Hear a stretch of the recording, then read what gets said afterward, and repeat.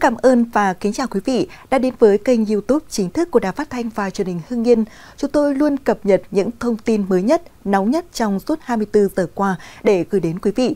Ngay sau đây là phần nội dung chi tiết. Bộ Tư lệnh Quân đoàn 3, Bộ Quốc phòng đã thống nhất điều chuyển công tác đối với bà LTN, thiếu tá, 42 tuổi, chú tổ 8 phường Hoa Lư, thành phố Pleiku, Gia Lai, đang công tác tại Bệnh viện Quân y 211 đến nơi công tác khác. Hiện Quân đoàn 3 cũng đã chỉ đạo Bệnh viện Quân y 211 thực hiện quy trình kỷ luật đối với cán bộ nhân viên vi phạm. Chủ trương của Quân đội Nhân dân Việt Nam kỷ luật là sức mạnh của quân đội.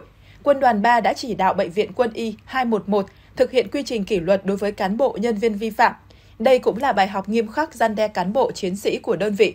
Trước đó, tối 29 tháng 2, trên đường Phan Đình Phùng, phường Tây Sơn, thành phố Pleiku, Công an thành phố Pleiku kiểm tra phát hiện bà N chạy ô tô biển kiểm soát 81A32333 mà trong hơi thở có nồng độ cồn 0,699mg trên lít khí thở, không xuất trình giấy phép lái xe, giấy đăng ký xe.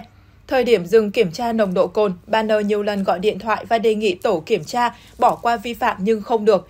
Ngoài ra bà N còn không xuất trình giấy phép lái xe và giấy đăng ký xe.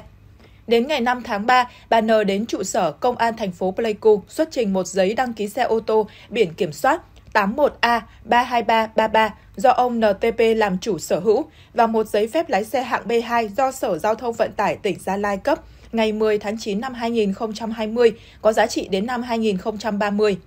Trước vi phạm trên, Ủy ban Nhân dân tỉnh Gia Lai đã ra quyết định xử phạt vi phạm hành chính 35,6 triệu đồng, tước bằng lái xe hạng B2 thời hạn 23 tháng đối với bà N.